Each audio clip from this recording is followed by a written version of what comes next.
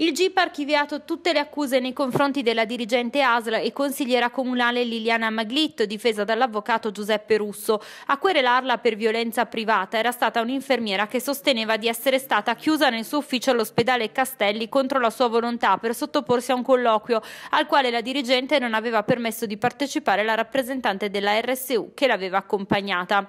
I fatti risalgono al 30 luglio del 2015. Il GIP ha rilevato che non avendo chiuso la porta chiave l'indagata indagata non aveva impedito all'infermiera di uscire, ma anzi fu lei stessa, dopo i primi momenti di resistenza, a trattenersi per un lungo colloquio. La conversazione fu registrata dall'infermiera. La vicenda era stata piuttosto lunga.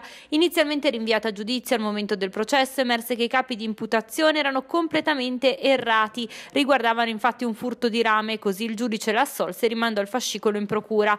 Il PM, dopo aver sentito la testimonianza, ha deciso di chiedere l'archiviazione, alla quale la parte offesa si è opposta con l'avvocato Gabriele Pipicelli. Il GIP ha deciso per l'archiviazione.